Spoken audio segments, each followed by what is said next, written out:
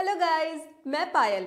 Welcome to DND news हर एक दिन की नई खबरें पाने के लिए इस चैनल को सब्सक्राइब ज़रूर कीजिए और साथ ही साथ बेल आइकन को भी दबा दीजिए। दोस्तों, सनी देओल आज अपना पैंसठवा जन्मदिन मना रहे हैं। इस खास मौके पर देश भर के लोग उन्हें शुभकामनाएँ दे रहे हैं। सनी देओल के छोटे भाई और एक्टर बॉबी देओल ने भी उनके लिए खास मैसेज लिखा। इसके साथ ही सनी ने खूबसूरत तस्वीर भी शेयर की। इस तस्वीर में वह सनी के अलावा दो बहनों के साथ दिखाई दे रहे हैं। तस्वीर शेयर करते हुए बॉबी ने लिखा हैप्पी बर्थडे भैया, आप मेरी दुनिया हो। इस तस्वीर में अजीता विजेता देओल भी दिखाई दे रहे हैं। बता दें, धर्मेंद्र के छह बच्चे हैं। पहली पत्नी प्रकाश कौर से उनके चार बच्चे हैं। वहीं दूसरी पत्नी हेमा मालिनी से दो बेटियाँ हैं। सनी और बॉबी ने फ़िल्मों में अपने पिता की तरह ही काफ़ी नाम कमाया। लेकिन धर्मेंद्र की दोनों बेटियाँ विजेता और अजिता देओल हमेशा ही ग्लैमर से दूर रही, ठीक अपनी माँ प्रकाश की तरह।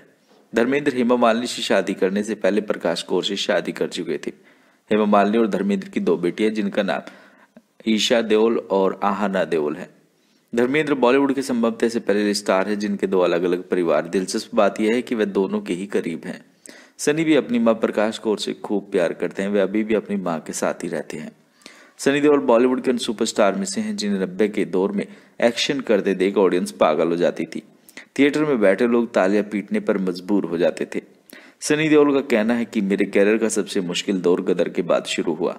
फ़िल्म इतनी बड़ी हिट थी कि मुश्किलें आ गई। फ़िल्म के बाद मुझे लेकर लोगों की अपेक्षाएँ बहुत बढ़ गई। लोग मुझे पाकिस्तान का दुश्मन मानने लगे थे। मगर मैंने उन चुनौतियों को भी पार किया। 1990 में आई फ़िल्म घायल से सनी को काफ़ी लोकप्रियता और पहचान मिली।